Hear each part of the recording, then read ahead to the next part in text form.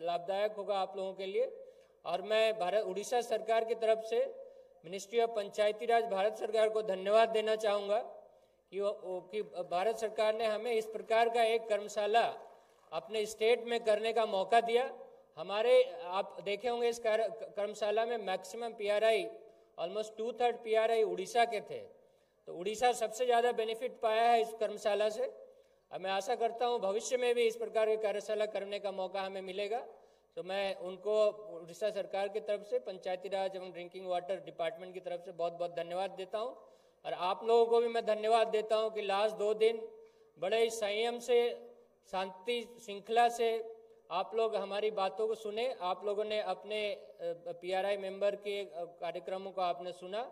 और निश्चय आज यहाँ से आप लोग कुछ गेन करके जा रहे हैं, कुछ लेके जा रहे हैं। जो कि आप अपने अपने एरिया में, अपने अपने पंचायत में, अपने अपने ब्लॉक में, उसको आप इम्प्लीमेंट ज़रूर करने की कोशिश करेंगे। सो आपको हमारी तरफ़